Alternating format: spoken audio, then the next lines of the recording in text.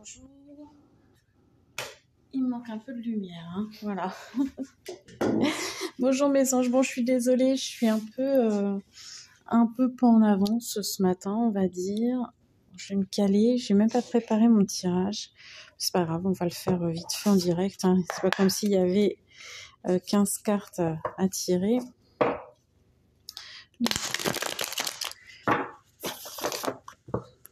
Donc on va vous faire le petit tirage. Bonjour à ceux qui se connectent. Voilà, désolée pour le, pour le retard. En fait, j'étais. Je suis levée depuis un moment, mais j'étais le nez dans mes activités et je ne me suis pas rendu compte de l'heure, tout simplement. Alors, les énergies du jour, s'il vous plaît, les énergies 25 février. Donc oui, nous sommes le jeudi 25 février 2021, bientôt dans les... Enfin, nous sommes dans les énergies déjà de la pleine lune, parce que c'est la pleine lune, il me semble que c'est le 27, je vous retirerai ça. En tout cas, c'est ce week-end. Allez, une petite carte pour aujourd'hui. Il y en a deux. Je vais les garder. Euh, demain, il n'y aura pas de direct demain matin, puisque je vais vous faire un gros tirage justement par rapport à la pleine lune. Donc, euh, je vais le préparer parce que je le fais par signe, donc ça risque d'être un gros tirage de, d'au moins, d'au moins une heure. Je le mettrai directement sur YouTube et je vous mettrai le lien, bien évidemment, demain pour que vous puissiez aller le, consulter. Donc là, ce sera à la fois les énergies du week-end et de la pleine lune. Hein. Je vais coupler les deux. Voilà, voilà. Alors, pour le 25, s'il vous plaît.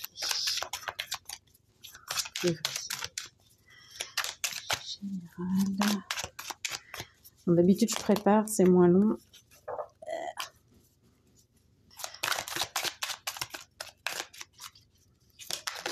Oups, j'en ai deux aussi qui sont tombés. Bah, décidément, il y a des choses à dire, je pense, aujourd'hui. Allez, le sentimental maintenant.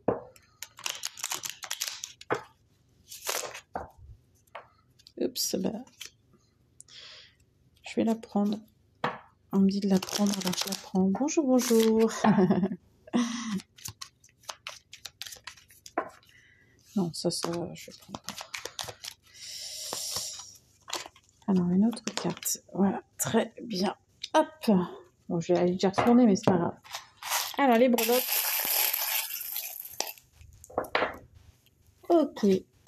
Super. Ah, bah dis on a encore cette idée-là de... Des choses qui ressortent encore. Hein. Là, vous les voyez pas. Je vais tout remonter. Tac, tac. Ok. Alors, ça y est, c'est parti. Euh, on va regarder pour les énergies générales avec l'oracle euh, guidance. Je sais même plus, je connais même plus mes oracles. ça devient, ça devient dramatique. Alors, euh, aujourd'hui, on vous dit vraiment de suivre votre cœur. Peut-être que vous avez effectivement le mental qui est excessif en ce moment. Donc, vous pensez à plein de choses. Et là, on va vraiment vous demander euh, de, vous recentrer vraiment dans le cœur et de suivre votre cœur. Euh, le mental n'est pas toujours bon conseiller. C'est très bien moi, je ne suis pas pour la suppression du mental. je devrais faire des t-shirts comme ça. Je ne suis pas pour la suppression du mental. Le mental, il est très, bah, il est là et s'il existe, c'est qu'il a sa fonction. Mais il est perspicace quand il sert euh, les intérêts du cœur, en fait. Hein. C'est-à-dire que quand vraiment on l'utilise à bon escient et, euh, et pas quand on le laisse divaguer dans les peurs, dans les projections, etc. Donc, d'où l'intérêt d'être en conscience hein, et d'intégrer la pleine conscience, même si euh, la pleine conscience c'est un peu utopique quand même, mais, euh, voilà quoi. Euh, donc on est bien sur des énergies de pleine lune hein, ici. Donc peut-être oui, peut-être que déjà c'est peut-être une pleine lune qui va nous inviter à énormément réfléchir. Donc donc voilà, donc pensez régulièrement à vous recentrer dans le cœur pour savoir si c'est juste ou pas pour vous. Hein. c'est important. Ensuite, on vous parle avec la carte 11 bien de vampirisme et de pouvoir personnel. Donc vous êtes peut-être entouré aussi de, bah, de personnes qui sont toxiques. Hein, qui vont euh, vous prendre votre énergie. Alors c'est pas forcément des gens qui vous veulent du mal, attention, hein, mais mais ce sont des personnes qui vont être souvent négatives et puis qui vont chercher votre contact parce que justement vous voulez remonter en vibration, sauf que vous ça vous fatigue. Hein, vous voyez, ça peut être ce genre de, de, personnes qui euh, vous sollicitent tout le temps, où il y a peut-être une dépendance, ou euh, voilà. Et ça, ça peut être, euh, voilà, bah, c'est pas bon forcément pour vous. Ou ça peut aller à des personnes aussi qui qui ont vraiment un ascendant sur vous aussi. Donc ça, ça peut être, voilà, ça peut être des fois déguisé et puis des fois plus franc. Coucou. donc donc voilà. Donc ça, c'est important de, le repérer, d'essayer de repérer les personnes avec qui, ben, quand on est en présence, on se sent pas bien, qui nous prennent de l'énergie ou qui pensent avoir un ascendant sur nous, parce que là, ça veut dire que quelque part, euh, vous n'êtes pas dans votre pouvoir personnel, dans votre plein pouvoir personnel. C'est cette personne, elle est là pour vous prendre quelque chose, et, euh, et ça, c'est pas normal, c'est déséquilibré dans une relation. Donc là, on va vous inviter vraiment, euh, je pense, à aller sonder votre cœur, à bien suivre votre cœur euh, à peut-être pas chercher des excuses parce que c'est ce qu'on dit aussi avec le mental excessif. On peut se dire oui, mais la pauvre euh, ou le pauvre, il traverse une période pas, pas, pas facile, euh, etc. en ce moment. Donc on, va être dans, cette espèce de compassion, même voir un peut-être même de ce qu'on appelle de l'ego spirituel. Hein. Donc c'est-à-dire c'est quand on veut impérativement bien faire parce qu'on pense que c'est juste, mais ça reste de l'ego. Hein. C'est voilà, c'est un peu fourbe aussi comme principe, mais voilà et euh, on n'a pas envie de faire mal aux gens, etc. Et on va leur trouver des excuses, on va réfléchir, alors qu'en fait, bah non, cette personne, euh, concrètement, elle n'est pas bonne pour nous. Et, voilà, et il faut trouver un moyen, en tout cas, sans casser forcément les liens, mais euh, en tout cas qui ait plus cet échange d'énergie, enfin ce vol d'énergie perpétuel qui vous fatigue, etc. Et donc là, bah, c'est à vous d'imposer vos limites, c'est à vous à un moment de dire stop et de reprendre votre pouvoir personnel parce que cette personne le fait parce que vous la laissez faire quelque part. Vous voyez, c'est voilà, c'est comme ça. Donc, euh, donc voilà, bonjour, bonjour à ceux qui se connectent. Je vois que ça se connecte tranquillement. Vous pourrez revoir en replay le début, hein, de toute façon comme d'habitude. Donc voilà. Donc euh, voilà, recentrez-vous bien dans le cœur et puis voyez ce qui est juste pour vous surtout. Hein. Et puis vous laissez pas dévorer par des personnes voilà qui, qui sont là, qui vont qui vont être négatives pour vous. Euh, alors ensuite, on a quand même des superbes cartes. On a la carte de la maison 10, euh, bah, qui est euh, la carte de, succès, de chance de réussite dans tout ce qui est projet, entreprise, etc. Donc là, on parle de vie publique, d'honneur. Euh, ça peut être même de la renommée, etc. Hein, ça peut être aussi tous les travailleurs indépendants aussi. Hein. Donc il y a une réussite euh, dans le milieu professionnel ou dans, des choses plus personnelles, mais euh, qui ont très souvent des projets et, puis qui, amènent soit une renommée, soit, soit du matériel aussi. Hein. Donc voilà. Donc ça c'est bien, c'est plutôt pas mal, on dirait. Pourquoi je dis toujours plutôt pas mal Il faut que j'arrête de dire cette expression en fait. C'est bien, voilà. Euh, et puis on a euh, l'eau, donc les signes d'eau. Donc ça va être renforcé ce message pour les signes d'eau. Si vous avez beaucoup d'eau dans, votre thème, eh bien euh, ce message va être renforcé pour vous. Alors les signes d'eau, je vous rappelle, sont les cancers, les scorpions, pardon, et les poissons. D'accord? Voilà.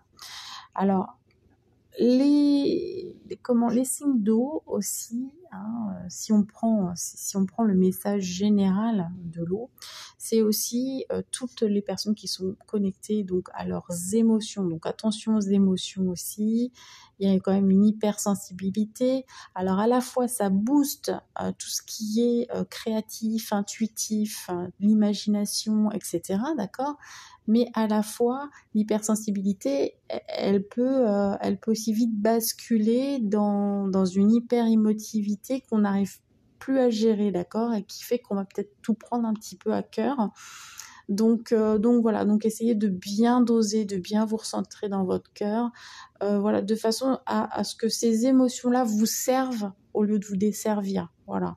Hein, donc, mais bon, là, moi, je vois pas problème particulier euh, puisque vous avez à côté la maison 10, donc la maison de la réussite. Donc je pense que vous allez réussir à tirer parti de votre sensibilité pour créer quelque chose de nouveau et quelque chose qui est fructueux en plus. Hein. Donc voilà. Donc c'est bien. On va voir au niveau relationnel et sentimental. Eh bien là, aujourd'hui, on va vous parler davantage d'amitié. Donc si vous avez quelqu'un dans le cœur, bah, peut-être que cette personne vous voit plus comme un ami ou une amie. Mais après tout, ça peut aussi commencer comme ça. Euh, ou ça peut parler simplement d'une belle amitié avec des liens karmiques, d'accord. Donc il y a peut-être des choses à nettoyer au niveau du karma euh, ou pas. Hein. Enfin voilà, après on peut le karma, ça peut être aussi euh, qu'on a, vécu euh, des vies, d'autres vies ensemble et puis puis voilà, on s'est dit qu'on allait se retrouver. Donc il y a un passif. en général, on le nettoie parce qu'il y a un contrat d'âme derrière. Hein. Dans le karma, souvent, il y a une notion de contrat d'âme, c'est je reviens parce qu'on n'a pas réglé telle et telle chose. Euh, voilà, mais après c'est plus ou moins lourd. Quoi. Je veux dire, il y a des fois, il n'y a pas des nécessités euh, extrêmes d'aller nettoyer. C'est juste le fait de, reprendre contact et que ça se passe bien, bah, ça va remplir tout à fait le contrat, par exemple. Donc voilà. Je ne sais pas si vous êtes tous à l'aise avec ces notions de karma. Euh, n'hésitez pas à me poser des questions. Hein, si ça vous parle pas, je, je vous expliquerai. Donc, donc voilà quoi dire. euh, j'ai rien d'autre qui me vient. Voilà. Ou alors ça peut être aussi bah, aujourd'hui euh, faire une rencontre de quelqu'un qui, voilà, d'une nouvelle amitié entre guillemets et que vous allez reconnaître parce que vous avez eu un, lien d'âme ensemble. Donc euh, ça peut être ça aussi. Hein. Donc voilà. Et puis ça peut être une histoire d'amour aussi qui commence mais par une amitié. Voilà. Donc ça, c'est pour le relationnel et sentimental. Alors après, au niveau des dés et des breloques, on a cette idée quand même de jeu. Quoi. Euh, là, j'ai alors vous vous rappelez hein, le, palais, euh, on l'a sorti hier. C'est le, votre magnifique temple intérieur. Et là, votre magnifique temple intérieur, votre âme vous réclame du jeu. Peut-être que vous êtes trop sérieux en ce moment. Vous avez besoin de divertissement. C'est vrai que du divertissement, on n'en a plus beaucoup parce qu'on ne peut plus faire grand-chose. Hein, donc voilà. Donc euh, essayez de, vraiment être dans le loisir, d'essayer de, sortir, de faire, euh, euh, voilà, de, jouer quoi, tout simplement. C'est plus du jeu extérieur. Je ressens plus du jeu à l'extérieur, besoin de, vous aérer, de faire des choses sympas. Donc voilà. Et étrange, enfin étrangement, oui et non, ça va vous apporter une forme de stabilité avec l'encre. Par contre, je ne sais pas si vous voyez bien. Avec l'encre là, ça va vous apporter une forme de stabilité. Il y a quelque chose qui mange, qui manque, qui mange, qui manque à, votre ancrage en fait. Euh, donc le fait d'aller euh, peut-être faire des activités à l'extérieur, des loisirs, etc., ça va peut-être justement aussi vous permettre de vous ancrer, de vous stabiliser. Euh, il y a peut-être un petit déséquilibre aussi dans le fait que bah, en ce moment, euh, finalement, on est plus attelé à soit à ses projets, à aller bosser, enfin voilà. Et c'est vrai que bah, vu qu'on nous a aussi retiré bah, un peu tous les loisirs, etc., bah, je pense qu'il commence à y avoir un manque. En plus, là, on commence à avoir des premiers rayons du soleil. nous, pas spécialement aujourd'hui là en, Bretagne, mais c'est vrai que ça nous incite à sortir plus aussi. Euh, donc voilà. Donc n'hésitez pas, ça va vous faire du bien. Et euh, au niveau de la lettre, aujourd'hui, nous avons la lettre N. Elle est sortie également hier, la lettre N. Euh, donc, bah écoutez, comme d'habitude, si ça vous parle tout de suite, que vous avez un mot, un prénom, un nom qui vous vient en tête tout de suite, vous prenez. S'il n'y a rien qui vient, c'est absolument pas grave, c'est que c'est pas pour vous. Voilà. J'espère que euh, ce tirage vous a parlé. Pour ceux qui sont arrivés en cours de route, de toute façon, comme d'habitude, vous retrouverez la vidéo en replay sur Instagram et je la mets aussi sur ma chaîne YouTube d'Elf Guidance. Donc, euh, N'hésitez pas à aller euh, voir le début. Je vous fais plein d'énormes bisous. Je vous rappelle demain pas de live puisque je vous fais une grosse vidéo euh, pour le week-end et les énergies de pleine lune. En attendant, prenez bien soin de vous. Et puis, eh ben, à demain, pas en direct, mais en, en rediff. Bisous, bisous. Ciao